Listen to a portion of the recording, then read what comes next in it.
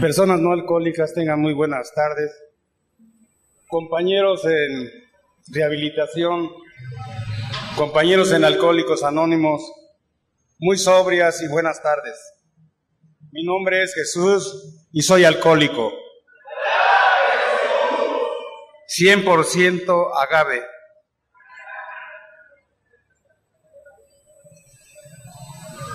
Antes que nada, manteniendo la emoción como alcohólico anónimo desde mi llegada a estos grupos de alcohólicos anónimos, eh, mantener la emoción, mantener la sensación de rehabilitarme, de sostenerme mental, emocional y físicamente, pues es muy importante para un alcohólico que llega a esta agrupación,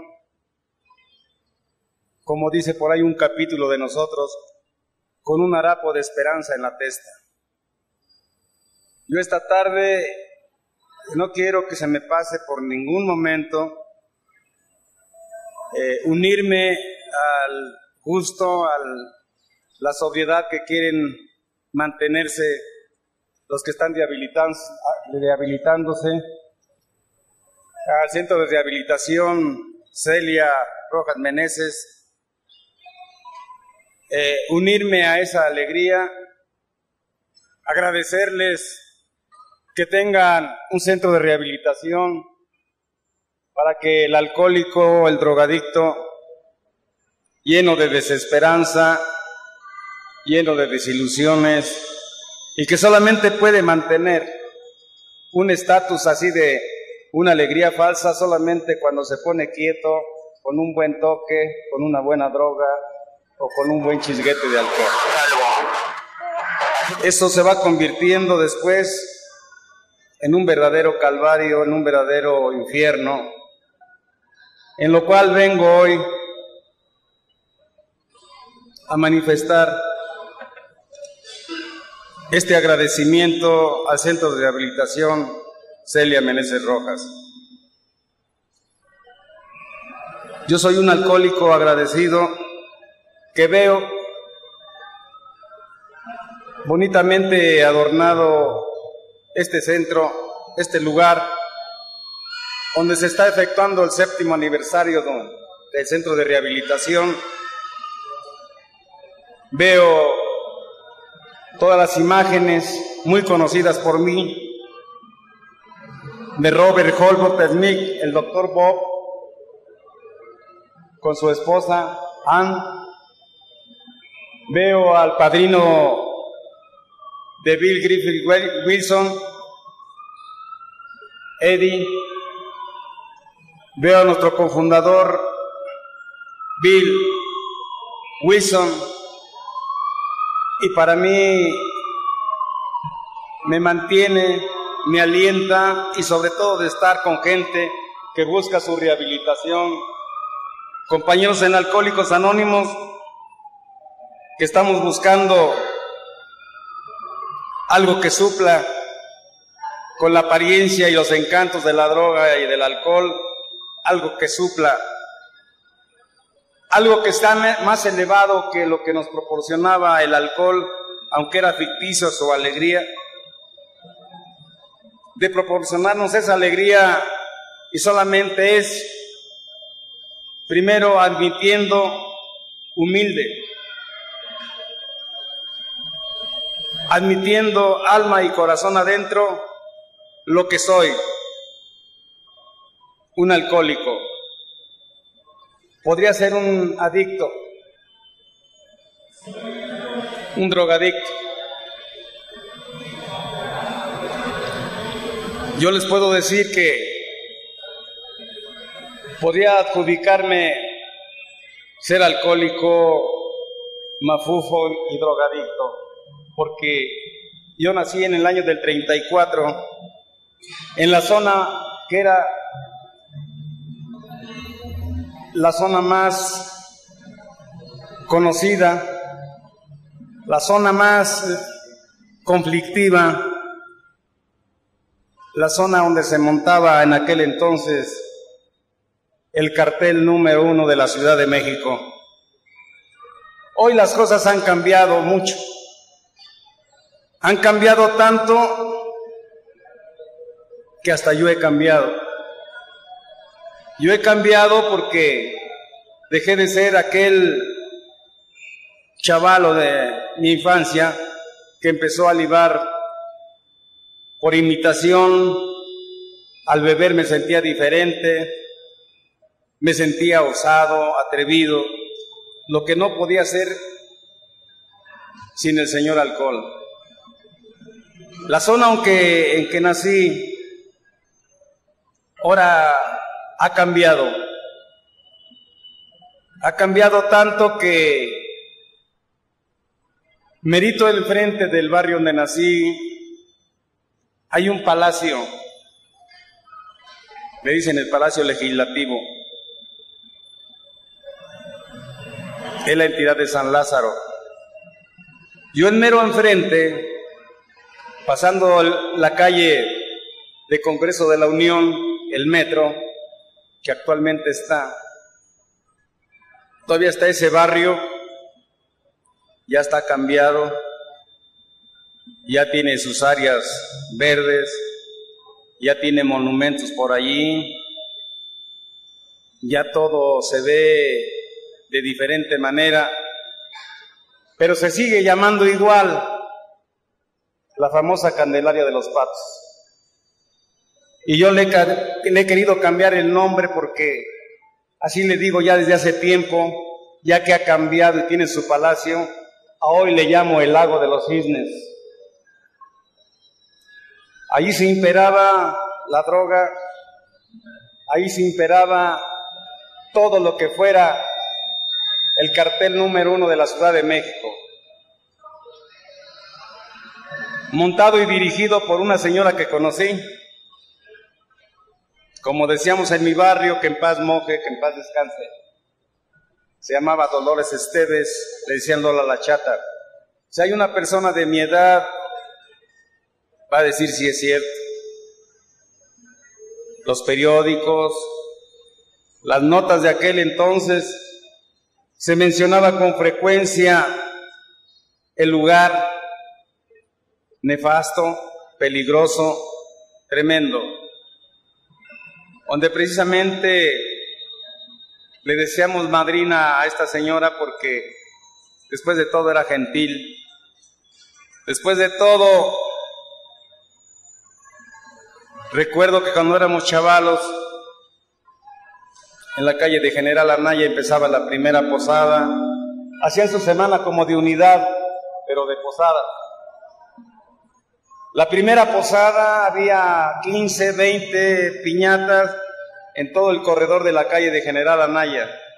La segunda se hacía en Rosario y también 15, 20 piñatas. La tercera en San Ciprián, la cuarta en Carretones, la quinta en Pradera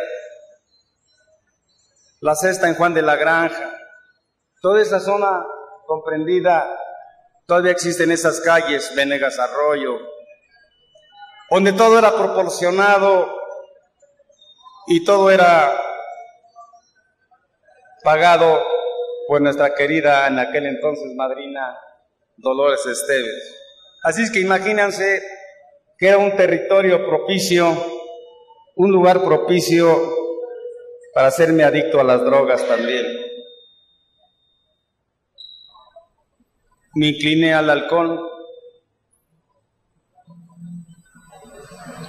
Yo puedo explicar breve y rápidamente por qué teniendo a la mano, en ese tiempo le decían la mostaza, el café, la hierba, ¿por qué no me incliné a la mota? Dicen que los alcohólicos y los adictos nacemos predispuestos, predispuestos para entrarle a la droga y al alcohol, pero que en todo adicto y todo alcohólico hay algo elevado, una mente prematuramente precoz desarrollada con anticipación pensamos adelante que la gente llamada normal.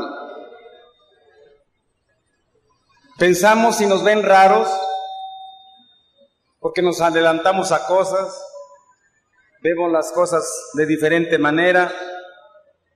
Tan es así que se aceleran nuestras emociones de tal manera que no podemos vivir en lo que hay en todo hogar, lo que hay en todo lugar, conflictos familiares, conflictos de barrio, conflictos de papá y mamá, X. Una ensalada de conflictos. El adicto, el alcohólico, está tan desarrollado en su mente que se adelanta todo y se siente demasiado mal. Hasta cierto punto es perjudicial. Y por eso tiene que escapar tiene que huir de la realidad. Los chavos que me están oyendo, que parecen del Cruz Azul, pero que son de aquí de la rehabilitación,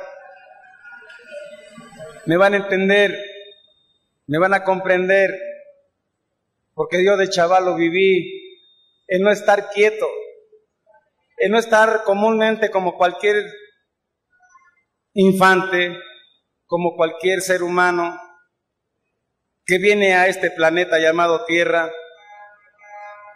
y llora, ríe, como chamaco hace actos que es castigado por sus padres, por los maestros, eh, reprendido por sus hermanos, pero él lo toma demasiado en serio y se, van cerrando en sí mismo. Va encontrándole una especie de complejo, como yo lo sentí. Esto lo hablo porque yo lo viví. No soy terapeuta profesional. Yo lo viví. Mi experiencia es viva. Nací con esa predisposición.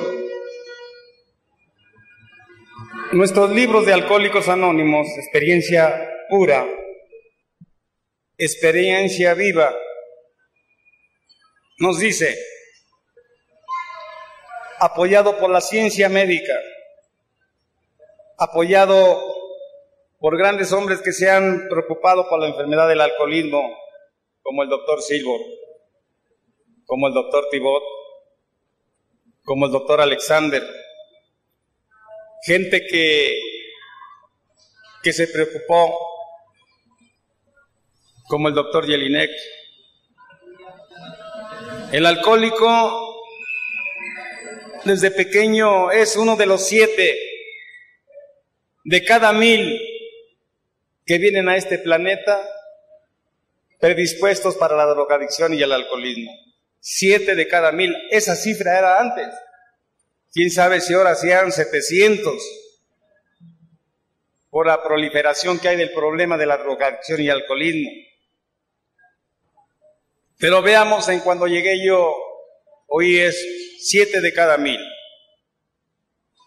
Familia de 10, el séptimo de la familia. ¿Cuántos alcohólicos? Uno. Nada más uno.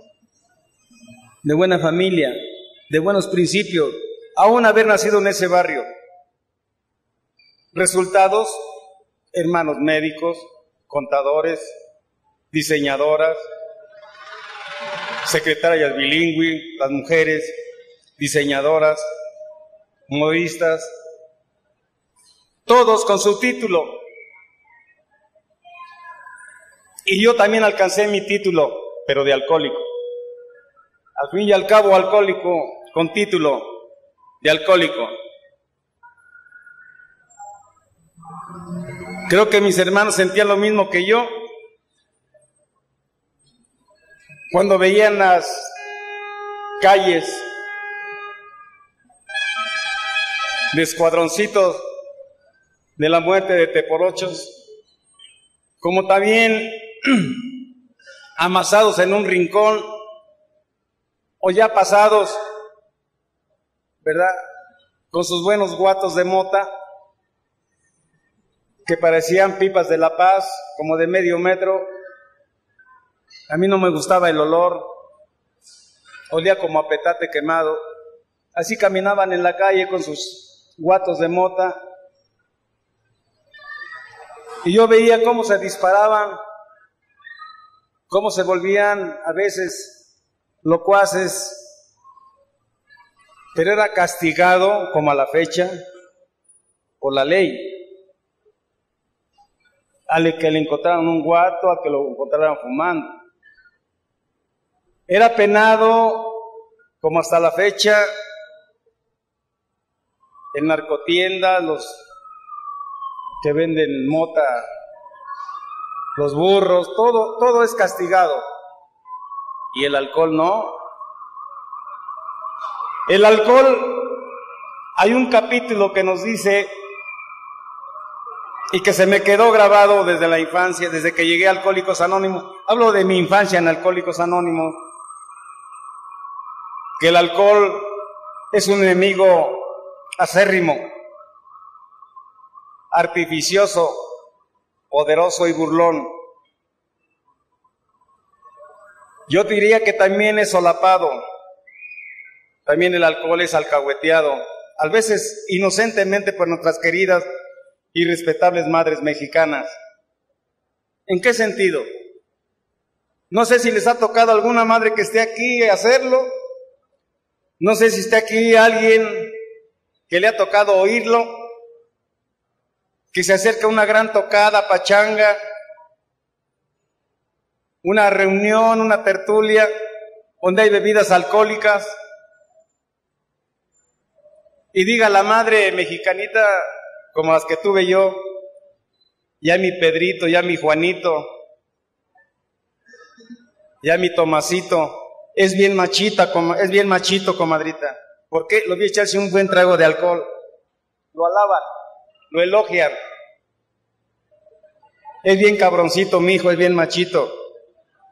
Es solapado.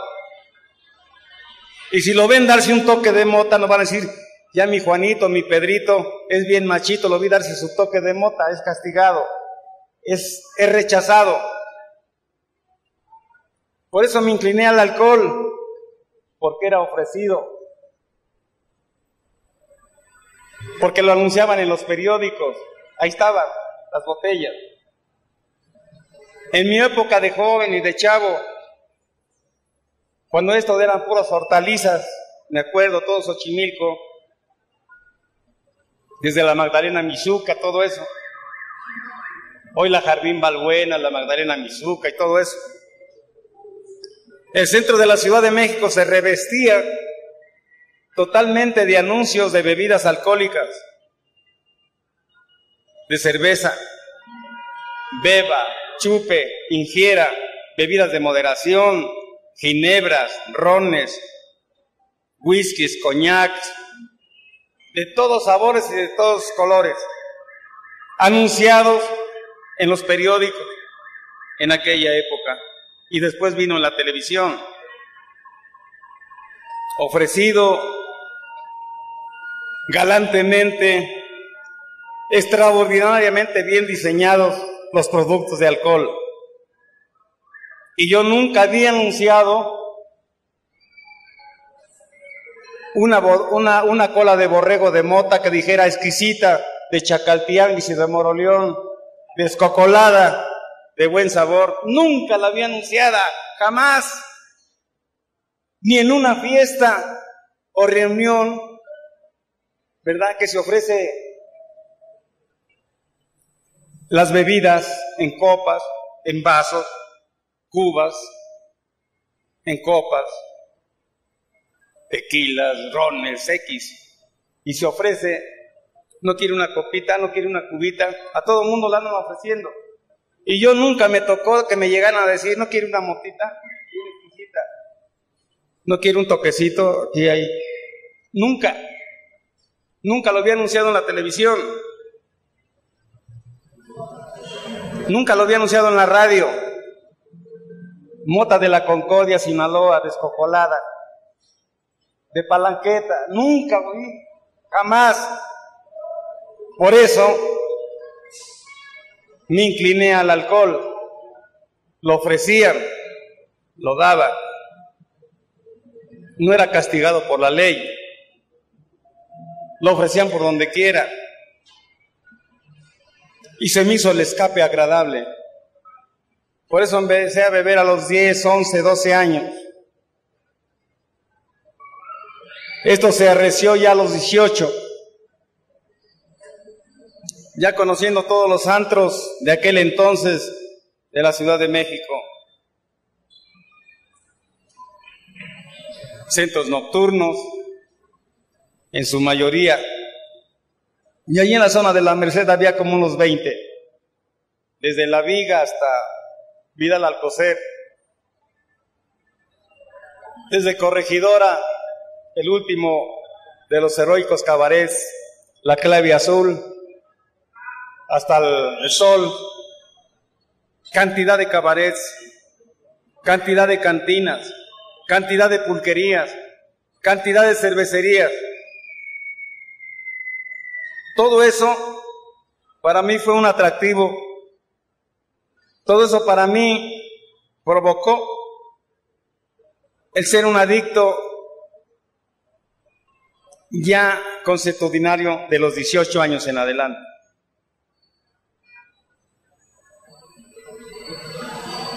Fui comerciante de frutas allí en la zona de la Merced. Era un lugar apropiado para beber. Fui mi mismo patrón desde jovencito. Y tenía que ser. Porque una persona, un ser humano, que viene predispuesto a una adicción, prefiere a veces irse donde le plazca estar a gusto, atizando, tomando, que dedicarse a lo que es, al progreso intelectual, literal. Lo puede hacer. Hay cantidad de abogados alcohólicos, hay cantidad de doctores alcohólicos, pero pudieron haber destacado más. Yo me dediqué a lo fácil. Como digo, mi título fue de alcohólico. Estando montado y habiendo viviendo donde realmente eran tonelajas, tonelajes de drogas, de marihuana en aquel tiempo en ese barrio.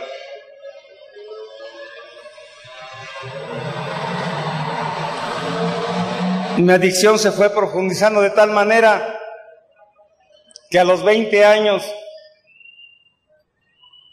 empecé a a oír música extraña y rara que no existía. A los 20 años empecé a sentir esos, esas angustias, esos miedos, ese temblar de manos, teniendo 20 años.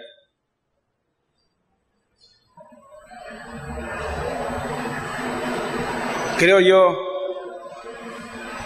que de las causas que ustedes que están aquí, hay algo extraño en uno, en no sentirse que habita uno y es parte de mi ser para habitar en este planeta. Se siente uno extraño, lo ve uno injusto, lo ve uno que no es de uno, lo ve uno mal. Uno se puede desarrollar, pero ese miedo lo impide. Como cuando estaba yo en las aulas de primaria, porque también tuve colegio que me proporcionaron mis padres y que me llevaban pequeño.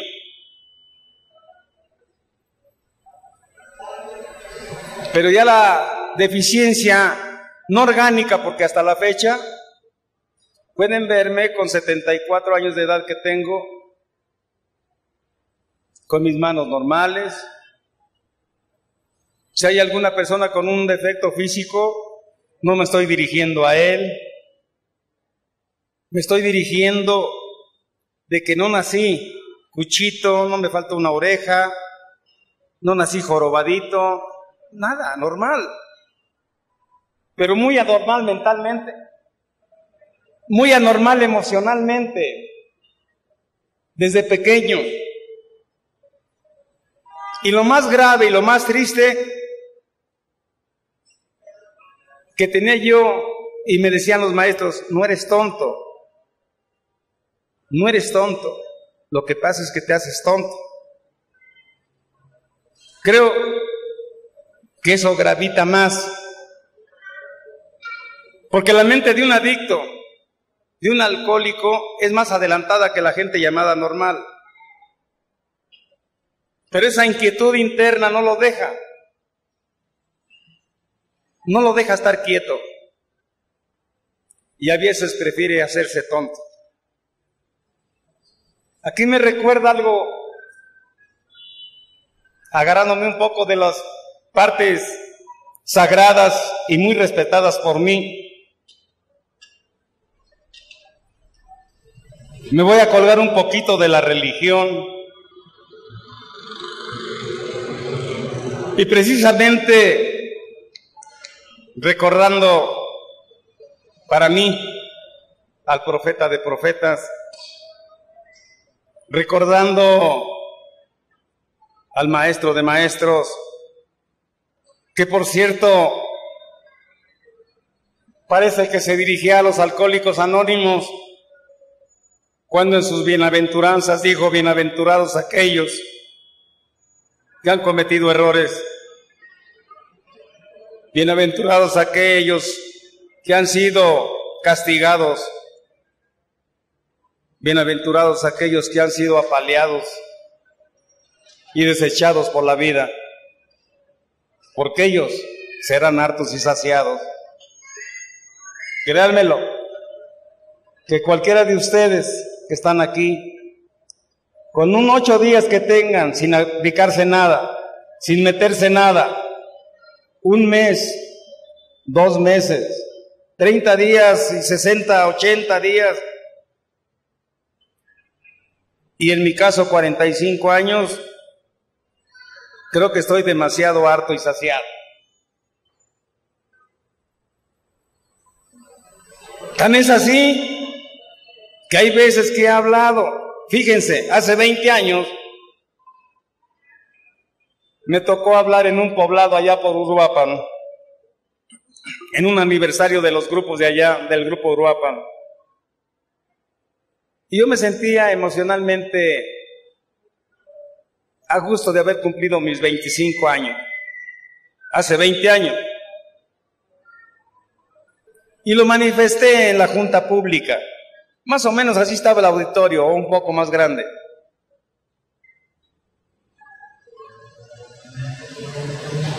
Y lo que dije, que por la gracia de Dios y con la ayuda de los alcohólicos anónimos, estaba yo cumpliendo 25 años sin llevarme a los labios una copa de alcohol, de cerveza, de licor, de nada.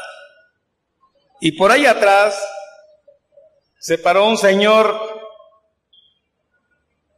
pues ahí de la región, ¿no? con su buen sombrerote, ¿verdad? Creo que traía hasta su escuadrota. Se paró y gritó, dice, no lo creo, cabrón. Yo lo único que le puede contestar es esto, ni yo tampoco. Y es hasta la fecha. ¿Alguien puede decir, este individuo tiene 45 años? Yo no lo creo. Yo me le puedo acercar y decir, ni yo tampoco, mi vale. Pero han pasado los años. Del 20 de mayo de 1963 al 20 de mayo de 2008 son 45 años. Quieras o no quieras, te guste o no te guste, te agrade o te agrade más, son 45 años. De vivencia en el mundo de los alcohólicos anónimos, en que parece que aquel profeta de los profetas se dirigía a los alcohólicos anónimos desde entonces, cuando dijo, bienaventurados aquellos que han sufrido dolores e injusticias, porque ellos serán hartos y saciados. Bienaventurados aquellos que han sufrido dolores, que los han maltratado la vida, porque ellos verán a Dios. Esa fue la bienaventuranza del maestro de maestros. Aquí se habla de Dios, como cada quien lo conciba, pero se habla de un poder superior. Veo los letreros por ahí, donde dice, por ahí me lo puede leer alguien que diga allí, el que está ahí en el muro, no me lo maltrates o algo así, ¿verdad? Parece que dice así.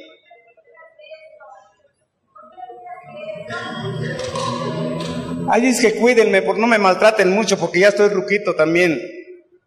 Ya tengo 45 años de estar en esta onda sin salirme de Alcohólicos Anónimos. Me han preguntado, como le preguntaron a aquellos que fueron curados de la lepra, como aquellos que no veían, y aquel profeta de profeta los tocó y los hizo ver la luz del sol. Aquellos que estaban allagados los limpió con tocarlos. Aquellos sordomudos que no oían ni hablaban, los hizo oír y hablar. Y llegaron los cábulas, llegaron los fariseos que les llaman. Querían decir que a ver qué, qué les hizo, qué les untó, qué curación mágica tienen por ahí, o, qué les puso, qué palabras dijo. El mudo, el sordomudo que ya hablaba, el ciego que ya veía, el tullido que ya hablaba, todos dijeron esto, como yo puedo decirlo ahora también. Yo no sé, decía el ciego, yo no sé qué me dijo ni qué me untó. Lo único que sé es que antes no veía y ahora veo. El tullido dijo, yo no sé nada, no sé qué me qué dijo. Lo único que sé es que antes no podía caminar, estaba todo tullido y ahora ya camino. Así a todos le, le contestaron, el tullido, el ciego, el sordomudo. ¿Y a mí qué me pueden decir? ¿Cómo le has hecho en Alcohólicos Anónimos? ¿Qué es lo que ha pasado? ¿Qué te dieron? ¿Qué te untaron? Yo no sé. Yo lo único que sé es que bebí un chingo, que alcancé el grado de mesero. O sea que tomaba meses. No trabajaba en ningún restaurante. Duraba meses chupando. Y ahora ya no bebo. Es lo único que sé. Lo único que sé es que se adquiere un poder superior aquí algo que, que no puede entender más que uno mismo. La gente se queda extrañada y rara. ¿Por qué? Porque creo que mi enfermedad y la que padecen mis compañeros que están aquí como alcohólicos anónimos y rehabilitándose otros, somos gente rara. Porque padecemos una enfermedad rara. no la comprende, no la entiende. Y el tratamiento de alcohólicos anónimos es raro. ¿Cómo que derrotándose es como triunfas? ¿Cuándo se ha visto eso? ¿Cómo quedando es como recibimos? ¿Cómo que el autoanálisis lo tienes que hacer tú? Eso lo tiene que hacer un médico. Me manda un laboratorio a que me saquen sangre, analiza el, el resultado dice, está usted esto. ¿Está usted bien o está bien jodido? Pero él lo dice el médico. Y aquí no. Uno lo tiene que resolver si soy o no soy. Eso es raro. Muy raro. Por eso Alcohólicos Anónimos pide honestidad contigo mismo. No con los demás. No con aquel. No con el padrinazo. no con el que me ayudó a llegar a Alcohólicos Anónimos, no, contigo mismo. Reconoce la naturaleza de tu enfermedad, lo que eres, y te vas a sentir bien. Ya no tienes por qué luchar, ya no tienes por qué pelear. Cuando has admitido que el alcohol y la droga te ha puesto en toda la maíz, ya no tienes con quién pelear, has admitido has aceptado. Y mira, pasa lo que a un amigo mío, allá en el barrio había muchos pachucos en aquel tiempo, que hacían gala del copete de, ese tiempo, íbamos a los salones de baile, a la danza, con una buena jaña, con nuestro buen rufo, con un buen tacuche, con una buena lima, con una buena monda, con una buena molleja. Faría la danza. Era nuestro calor entonces. Era muy difícil que un hombre que conocí admitiera, aceptara. Parecía ángel el cabecilla de su cara. Era hijo de una familia de Michoacán que se había clavado allí en el barrio. Tenía carita de ángel el cabecilla, ojos azules y su pelo era rubio. Las mujeres lo envidiaban. Qué bonito pelo tiene ese cabecilla. Ondulado así sin hacérselo, quebrado, rubio. ¿Y qué tiene que ver con esto? Pues la bronca es que se empezó a quedar sin cabello. Se peinaba y se salían los manojos de pelo y usó remedios y usó esto y usó otro, y nada. Siguió el proceso de la caída de pelo. Su peine se quedaba con pelos. Al bañarse se le caía mucho pelo. Le empezó a entrar el terror, el miedo de que se iba a quedar pelón y se iba su, su bella cabellera. Dicen por ahí las lenguas, y esto se acomoda para la aceptación del primer paso que este hombre reconoció, admitió que se iba a quedar pelón. Dicen que le empezó a crecer el pelo. Dicen que se le empezó a dejar de caer. Dicen que se le empezó a pedar otra vez ya sin caerse tanto el pelo, cuando aceptó que se iba a quedar pelón. Así también nos pasa a los alcohólicos. Así también les pasa a los drogadictos. Cuando se admite la naturaleza de su enfermedad, empieza a crecer por dentro algo que ya no es abstinencia, que le llamamos sobriedad, equilibrio emocional. Por eso tenemos 12 pasos. Tenemos 12 tradiciones los alcohólicos anónimos.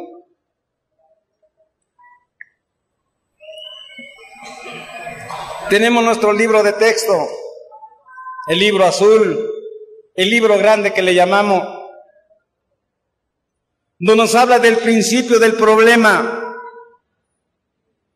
de la opinión del médico, de la historia de un alcohólico, de Bill Griffith Wilson. Luego sigue el capítulo de Hay una solución.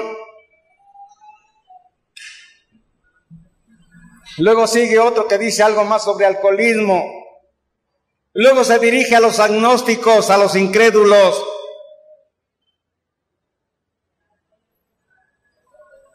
Luego el capítulo quinto, cómo trabaja el programa con sus doce pasos, donde hay tres aseveraciones completamente decididas y concisas y precisas. La primera es que yo como alcohólico no podré resolver mi problema yo solo, jamás. Y que probablemente en esta aseveración segunda dice, ningún poder humano podrá resolverlo. O sea, médicos, ministros religiosos, llanto de padre y madre, caídas a prisión, médicos, no podrán resolver el problema. Ah, dice allí la tercera aseveración, pero hay quien lo pueda resolver. Y de una forma eficaz.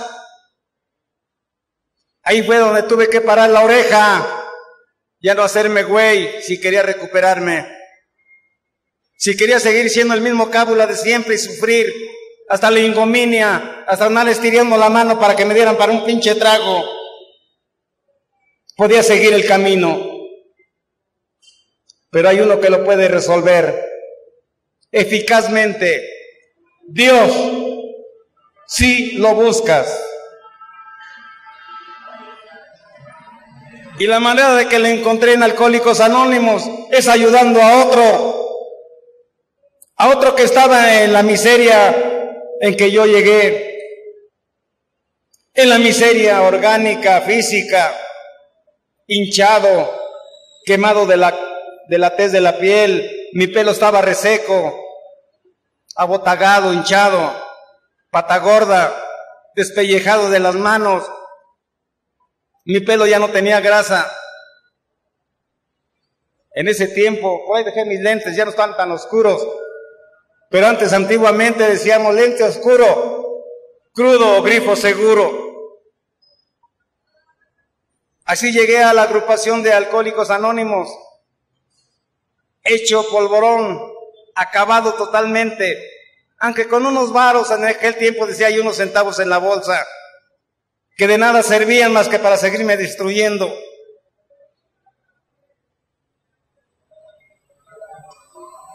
Tal vez decía yo, si algo mal le hago a mí mismo, no, también a mis seres queridos, también vergüenza de una familia, también deshonra para mis hermanos. Y la lata de mi Santa Madre para irme a sacar seguido de una cárcel. de una cruz verde, de unas broncas fuertes, toda la vida. Gracias a que conocí esta agrupación cuando era pequeña totalmente. Yo les aseguro que en toda la República Mexicana, cuando llegué a la agrupación no había esta cantidad que veo aquí ahorita. No había esa cantidad. Había siete grupos en la República Mexicana uno en Tampico, otra en Mérida, uno en San Luis Potosí, dos en Guadalajara y dos en México con un grupo de habla inglesa. Era todo, no había más. Era el año de 1963. Esto se ha proliferado, Dios gracias. Esto no debe de morir y no va a morir por una simple y gran razón. Este programa, esto que tenemos de rehabilitación, se debe a la gracia de un poder superior. A eso se debe, por eso no va a desaparecer. Gracias al esfuerzo y lo que hacen los compañeros del centro de rehabilitación. Celia Meneses Rojas, para aquel que llega y quiera rehabilitarse, no va a ver si pega esto, esto pega. No va a ver si esto da resultado, esto da resultado. Siempre y cuando y quieras. La rebeldía es innata, es natural. Y más cuando se es nuevo. Y más cuando se le han traído a la fuerza.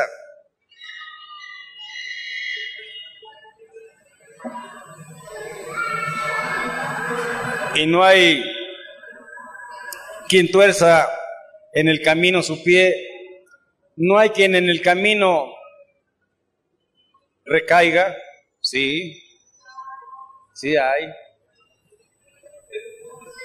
Porque sigo creyendo o siguen creyendo de que ellos la van a hacer solos, que ellos van a poder.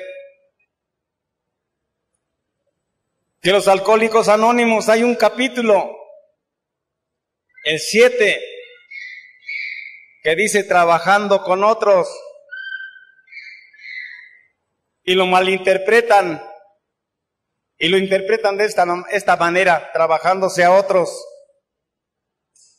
Por eso hay ese declive, por eso hay esa, esa recaída, por eso hay esa recaída. Si hay quien ha conocido alcohólicos anónimos y muere bebiendo, Y hoy le agradezco a este centro de rehabilitación haberme venido aquí a darme una sacudida, a ver qué es lo que puedo aportar, cuando menos mi presencia, de que si a mí, no ni ignorante, que no sabe leer ni escribir, sé leer sé escribir, sé poner mi nombre, aunque estuve en cuatro colegios y no tengo ni por antigüedad certificado. Ya se me manifestaba mi inquietud y mi desorden emocional desde pequeño, desde que estuve en las aulas primarias de la escuela. Fui rebelde, no me adaptaba. Cuatro colegios, no tengo certificado de primaria, no lo obtuve. En Alcohólicos Anónimos me puede pasar lo mismo.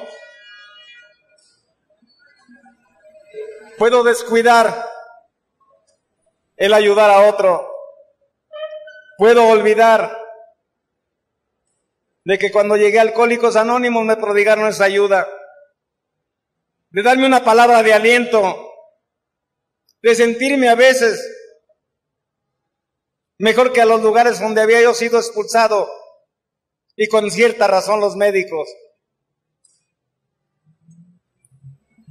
Cuando maestro de mi hermano, el médico, una eminencia médica, y que en aquel tiempo dicen que era para los adictos y para los alcohólicos muy bueno, yo no me hizo nada.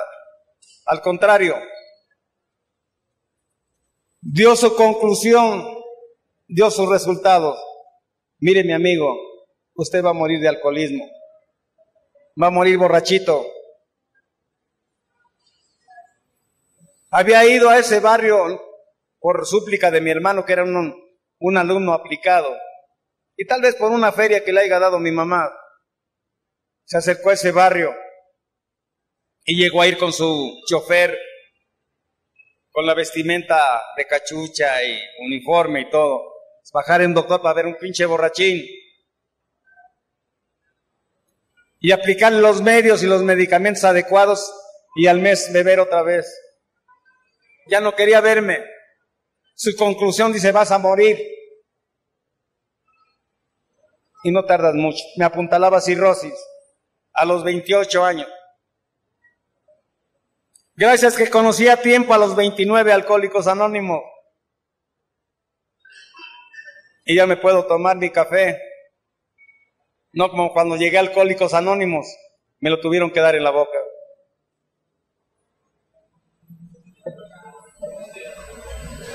Ahora pienso nada más en que le doy gracias a mi poder superior, tener esa emoción sostenida y decirle al adicto, no porque lo quiera convencer, este es el camino, estuve peor que tú.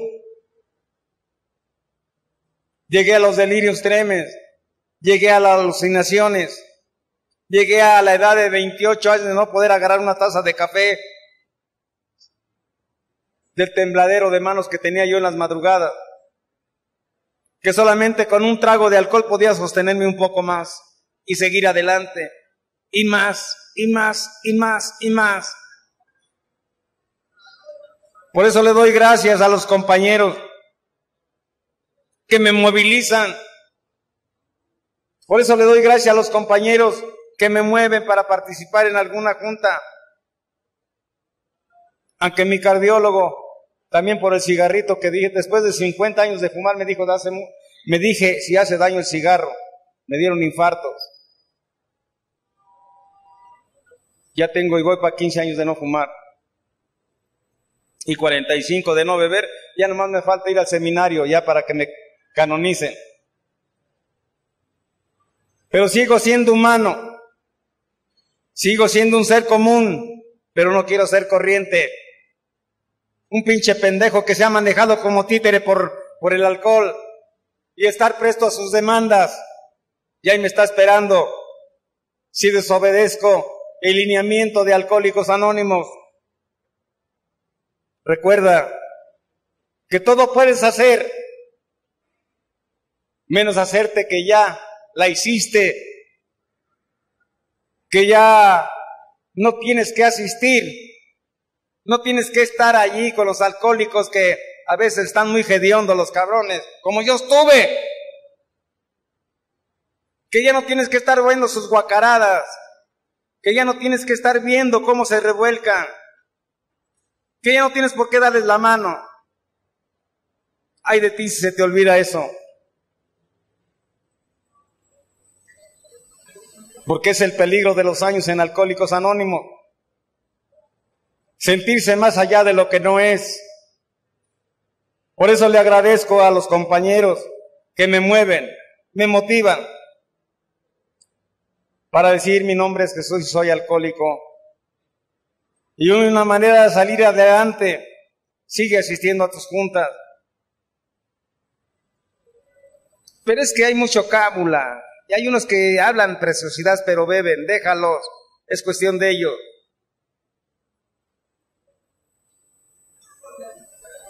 Vive y deja vivir uno de estos emblemas.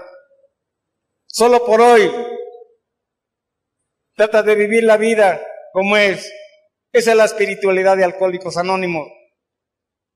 No como cuando bebía o cuando ya no bebía de ver las cosas a mi manera, a mi modo, sino verlas como son, con sus altas y sus bajas, con sus alegrías y sus penas, con su sanidad y con su enfermedad,